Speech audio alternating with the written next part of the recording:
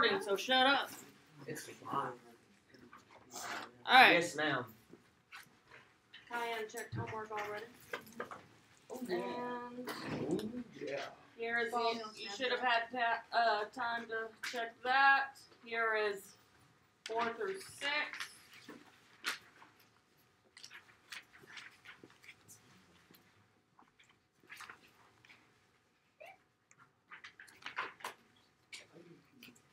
See the screen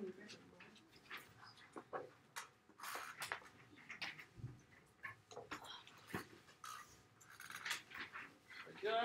Moving on. Here is seven through twelve.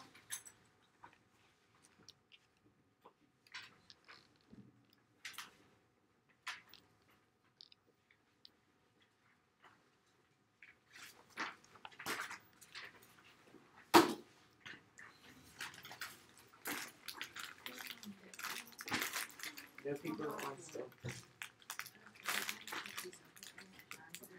Names and joints. Alright, today we are solving by, we were solving quadratics. What's the other uh, synonyms for solving quadratics? Finding the zeros, the x-intercepts, or the mm, mm, mm. Dang it. Solution. roots are ways to find where it's exactly crossing the x-axis, and that's the solutions to quadratics. We've been doing it by graphing, now we're going to do it algebraically. One way to do that is by factoring. We're going to take it in two-day parts. So obviously tomorrow's going to get a little more challenging. Here are the steps for solving quadratics by factoring. Step one is to set your quadratic equal to zero. Right now it's set equal to y. So I'm just going to set this thing equal to zero. And I factor like I learned last chapter. I need four terms. So I do a times c and I get my magic number of a negative 10. I need a factor that adds up to 3x. What does that give me? Factors of negative 10 that give me a positive 3. Yeah. Five negative two. Negative 2, 5. Now I'm going to expand this out so I can have my five terms that's needed. I group my first two and second two. Who's what's in common in my first parenthesis? X. So I pull that out. I get x minus 2. Second parenthesis, Five. positive or negative? Positive. I'm going to pull out a positive, so I get this x minus 2. Now I have x plus 5, x minus 2 set equal to 0. Then I set both of these factors equal to 0 to solve. So I have x plus 5 equal to 0 x minus 2 equal to 0. I solve these. I get x equals negative 5, x equals positive 2. So my roots or x-intercepts or solutions is negative 5, 2.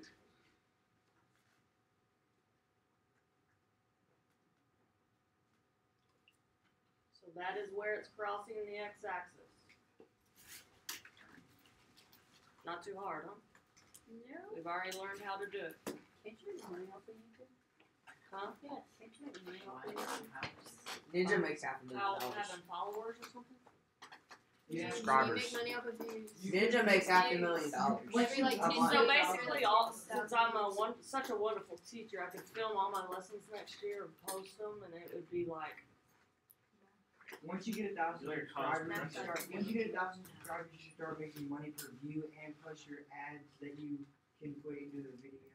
You just have to make sure you don't have any opinions.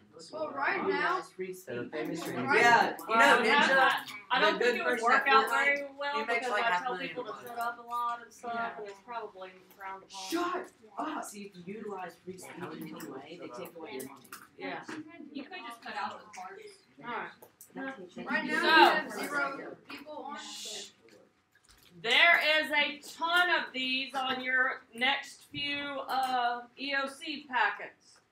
So you could probably start working some of these.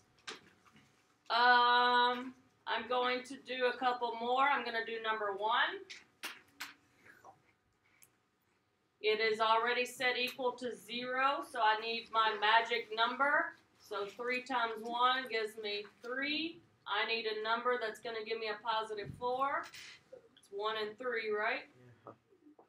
So I have x squared plus x plus 3x plus 3 set equal to 0. Gonna group. Who's in common in my first one? X. X. I'm left with an x plus 1. Second one, positive or negative? Positive. I'm left with an x plus 1. Me being the lazy person that I am and don't like writing extra stuff, I normally from here just, I can see my two parentheses, what they're going to be, right? Mm-hmm. So I normally just from here go ahead and set them equal to 0. So I kind of skip a step from being lazy. And I see that my x intercepts or my roots are going to be negative 3, negative 1.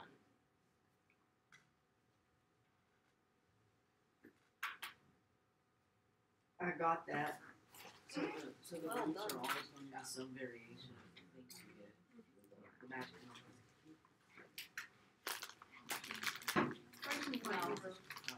It depends on what your factors My are. Okay, I'm looking at number 7.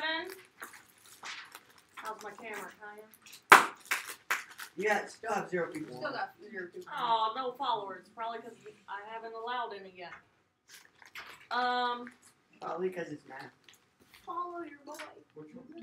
Would you like me to flip off the camera? No, probably Because because no people. there. so Probably 'cause people are in school. I just look here is my next one. I'm looking at number 7. A times C, what's my magic number? 25. I need a number that's going to give me a positive 10. Five is gone. 5 times 5. So I'm going to expand this out.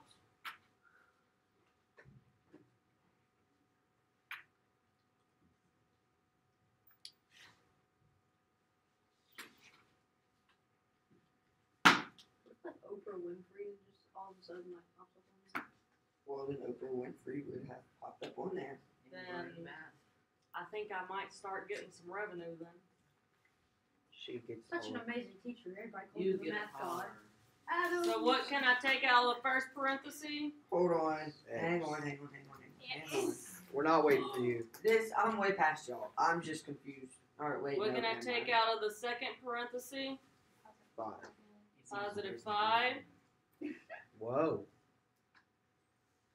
Okay, so I see that I'm going to have an x plus 5 equals 0 and an x plus 5 equals 0. What did we do? When I solve that, I get both answers are a negative 1. Am I going to list, uh, I'm not, Negative negative five. 5. Here, I was like, what? Did I do that wrong? Am I going to list it twice? No. Oh. So this means it has one solution. How can it have one solution? It passes through the X ones. How can that happen when there's two lines? The, per- the It starts on- It starts on the line. What is that called? Um, Math. Uh, Very. What is the Ooh. very tip top called? Uh, vert- vertex. Yes. Okay. I'm looking at number nine next. Oh, yay. Hey, tap on my board so it focuses on the four.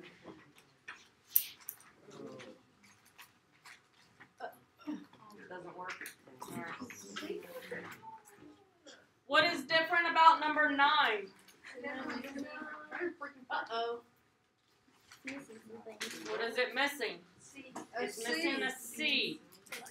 So if it's missing a C value, I can still factor this. What is in common in these first two terms? X. So I'm going to take out an x. I'm left with an x minus 8. I still have two things I can set equal to 0. x equals 0. x minus 8 equals 0. Well, there's nothing to solve here. I get x equals 8. So my two solutions would be 0 and 8. It was that simple. Is that how all those are right there? Like like nine through sixteen. Is that how all of them are? No, that's why I have a star on number 13. Oh, sorry. Because it's not missing. What is 13 missing? Mm. 13 is missing a B. So basically, what happened to B? What number is B? Zero. Well, what's A times C? Negative 64. I need two terms that's going to turn to a zero. And negative eight and positive eight cancel out. 8 and negative 8 cancel out. So I can expand this.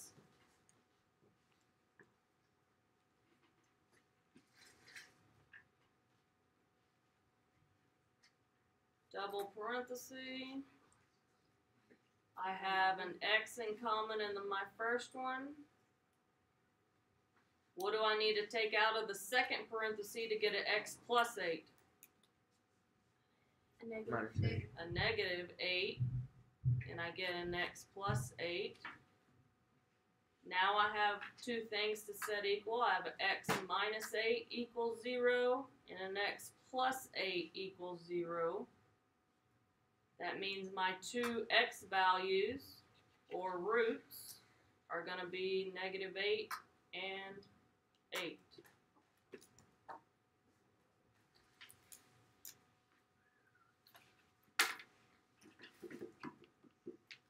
Uh-oh. Redbox into a notification says buy one get one free. Ooh. Movie night. Movie night! Does it matter which one you put first or not? You always like to put least to greatest. Jackson's five Okay. would give one free. Why would I'm not talking about that. I'm talking Okay. about math. I? These are my quadratics in standard form like they were before. Are my quadratics in standard form like they were before? No. I need to put them in standard form. So I need AX, uh, A, B, and C on one side. How do I move 21 over? Subtract it and I set it equal to zero. There's now my equation, and I handle it just the same. So my magic number is 21, negative 21. I need a positive 4, Dump it in three. 3, and 7. Which one's negative? Three. Okay, expand it out.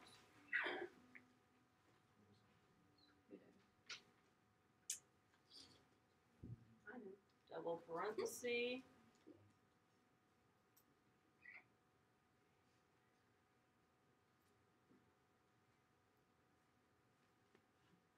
Can I take out the first term? X. X, I get x minus 3. Positive. I need to take out a positive 7. I get x minus 3 again. So I have x plus 7 equals 0 and x minus 3 equals 0. So my x intercepts negative 7, positive 3. Genius. No. No, really? Oh. And lastly, we have number 20.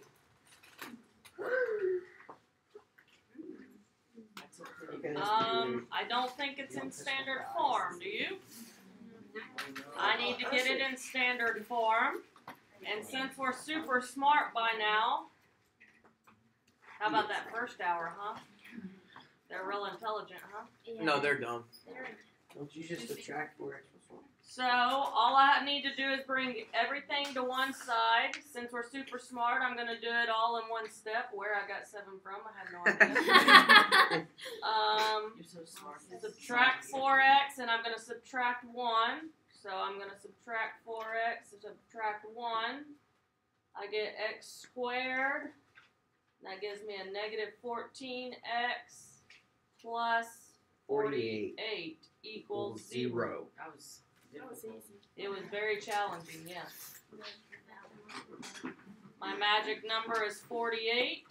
Negative, or I negative need- seven and negative seven. Okay, That's yeah, not negative equal. 7, Wait, negative never- That seven. equals No. twenty-nine, that doesn't equal forty-nine. Where'd you get the seven Um, from? I need Magic seconds. Six and eight. 6 and 8. Which one's that? Negative Both are six. negative. negative. Negative 6, negative 8. So x squared minus 6x minus 8x plus 48 equals 0. If you weren't looking at that board while you were saying that, that sounded so complicated. But it wasn't. The first parentheses, I'll take out an x, left with x minus 6. Second parentheses, take out No, take take out out a negative 8. I get x minus 6, right? Equals Not- 0. Oh yeah. Got it. So I have an x minus 8 equals 0, x minus 6 equals 0. So I have x equals 6 and 8, huh? I have noticed something. Tell me. Grayson notices this. So, you know how? Do you give permission to be on YouTube? Yes, I do. You're how many people? Zero. There's zero people will be watching. So, how you see how it has seven and negative three? It Uh-huh. has negative seven and three, and then it keeps using the same numbers that you used, but It like the does. opposites. But tomorrow, Because It this will one's not negatives happen and that's like that. positives. Because good notice. Grace Grayson it will not everything. happen like that tomorrow's lesson. Would Good you- job, Grayson. Are we are we done? Grayson Harlow to be exact. Any Um, colleges looking forward to Grayson seeing Cole Grayson Harlow. Yeah, we can pause this, but we're not done with myself. aka